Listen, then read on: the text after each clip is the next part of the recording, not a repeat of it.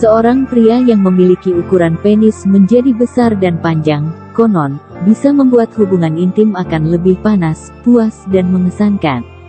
Inilah yang membuat mereka rela melakukan apa pun untuk itu. Salah satunya adalah suntik silikon, minyak kemiri, kurang aring, minyak papua dan lain-lain.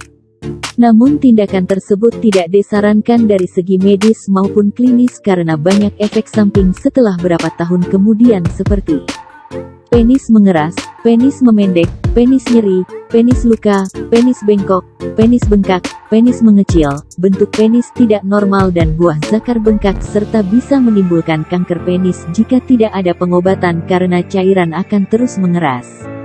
Saran kami segeralah melakukan tindakan pengobatan dengan cara operasi ke dokter ataupun ke herbal salah satunya dengan pengobatan herbal kami The Natur Indonesia tanpa operasi tanpa efek samping.